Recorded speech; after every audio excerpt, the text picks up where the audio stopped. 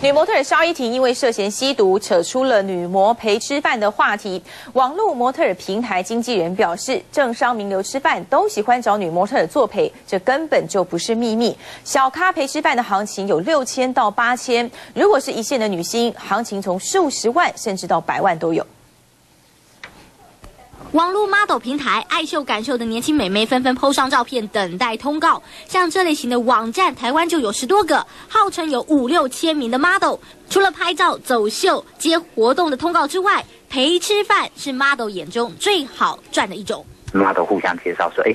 那个我现在有在吃饭去啊，那你要不要帮我一起去？真的很简单，就只是陪他们吃饭，然后就可能六千块、八千块可以领。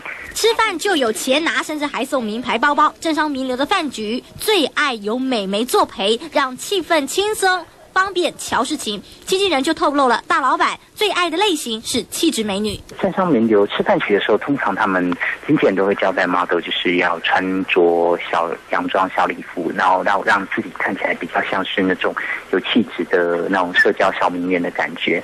所以其实气质。谈吐是一个还蛮重要的。女 model 陪吃饭价码大不同，从几千元到几万元不等。如果有点知名度，行情再往上跳，一线女星数十万、百万的也有。经纪人就说了，吃饭 model 很抢手，一遇到周五、周六假日或是景气好后，女 model 甚至会跑脱跑到缺人。